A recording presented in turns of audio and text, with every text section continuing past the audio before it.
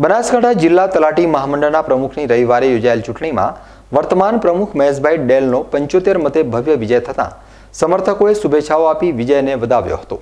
બનાસકાંઠા જિલ્લાના વર્ગત્રણના કર્મચારીઓના શક્તિશાળી સંગઠન ગણાતા બનાસકાંઠા જિલ્લા તલાટી કમમંત્રી મહામંડળના પ્રમુખની આગામી ત્રણ વર્ષની ટર્મ માટે રવિવારે નડેશ્વરી માતાજીના સાનિધ્યમાં ઉષ્માભર્યા વાતાવરણમાં મતદાન યોજાયું હતું, જેમાં પંચ્યાસીથી નેવું ટકા મતદાન નોંધાયું હતું.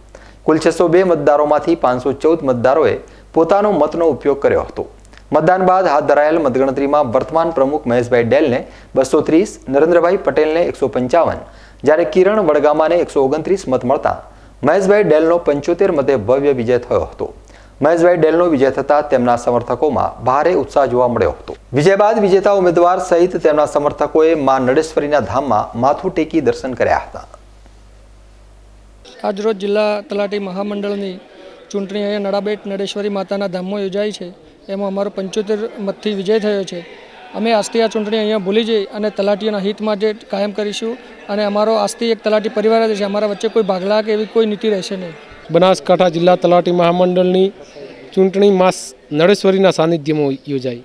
જેમાં અમારા ઉમેદવાર ભાઈ શ્રી મહેશભાઈ ડેલ પંચોતેર મતની જંગી લીડથી વિજેતા પામેલ છે. એ બદલ ભાઈ શ્રી મહેશભાઈને અમે ખૂબ ખૂબ અભિનંદન આપીએ છીએ.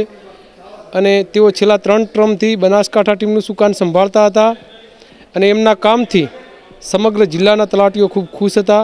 અને એની ફલશ્રુતિ સ્વરૂપે આજે પુનઃ અમે નરેશભાઈ, શ્રી મહેશભાઈને વિજેતા બનાવ્યા છે અને આગામી ત્રણ વર્ષ એમને અમારું સુકાન આપ્યું છે અને આગામી ત્રણ વર્ષમાં અમારું મંડળ ખૂબ પ્રગતિ કરશે અને તલાટીઓના પડતર પ્રશ્ન હશે.